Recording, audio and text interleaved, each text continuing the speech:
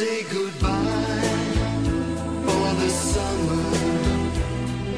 Knowing the love oh, let us make a pledge to meet in September and seal it